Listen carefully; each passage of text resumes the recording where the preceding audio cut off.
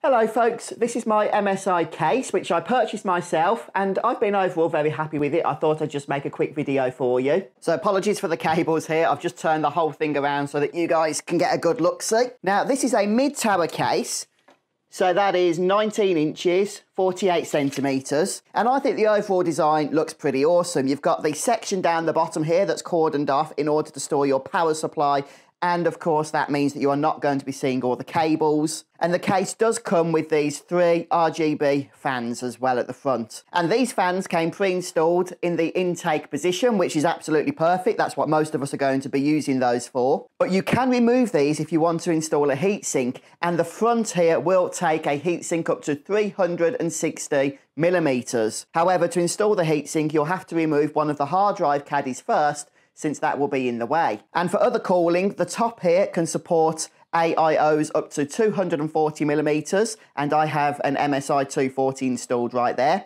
And you can have a 120 millimeter fan on the back here as well. So pretty typical in terms of cooling. What's interesting is they also include this optional dust filter, which is actually really nice and it's magnetic, it can go on the top. But I think this is actually kind of pointless for most of us because you only need a dust filter for intakes and the top here is almost certainly going to be an exhaust for most of us. So yeah, I don't bother with this. You don't want to trap the dust inside the PC, that's for sure. All your typical motherboards are supported, ITX right up through to standard ATX. And I am using a 3080 Ti graphics card. You're looking at about 12 inches, yeah, just about a foot for that. Now, bear in mind, I don't have an AIO here, so if you have a larger graphics card and want to install a radiator, it may not fit. But in my case, there is plenty of room to spare. Now, in terms of front I.O., you're pretty much covered here. You've got your power and reset buttons, of course. You've got an included USB-C port here on the front, which is 20 gigabytes per second, so that's great to see that here